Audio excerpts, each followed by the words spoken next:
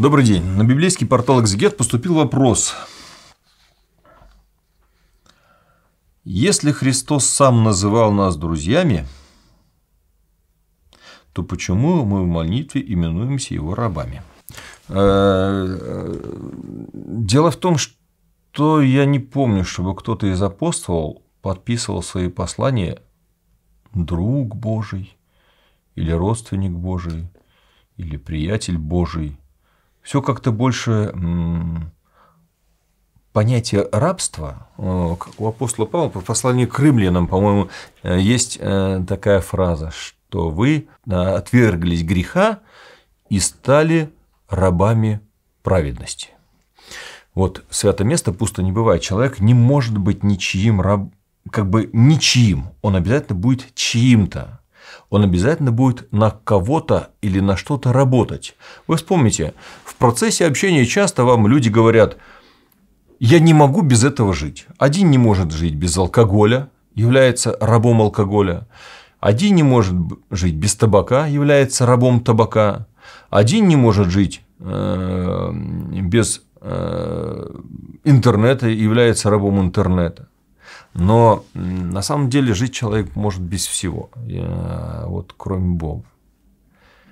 Кто кому работает, тот тому и раб.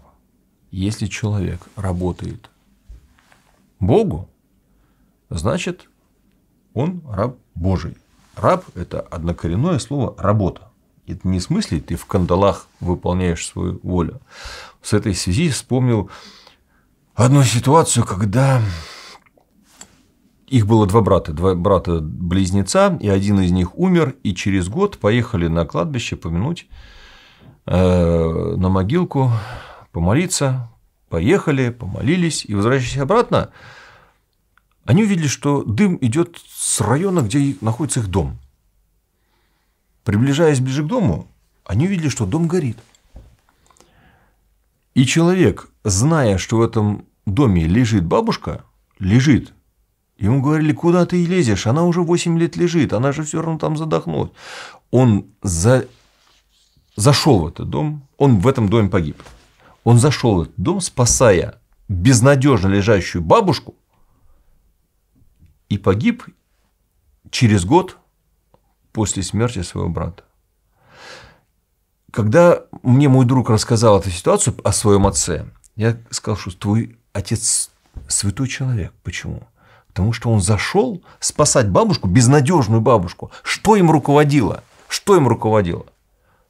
Раб любви он не может поступить по-другому.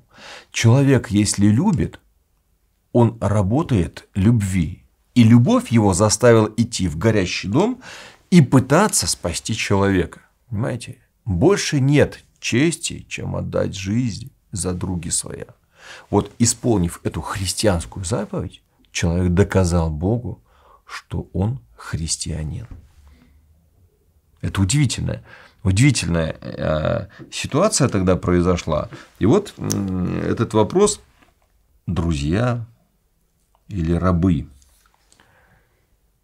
Вот этот человек был рабом Бога. Рабом Бога, раб любви. Раб греха значит не раб любви. Раб любви значит не раб греха. Поэтому, родные мои, э, в любом случае человек будет на кого-то работать.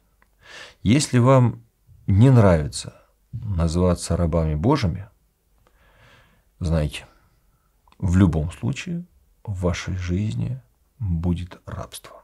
К сожалению большому, не раб Божий, понимаете, кем становится? Рабом греха. Выбирайте сами. Внеси свой вклад, оцени, подпишись и поделись этим видео.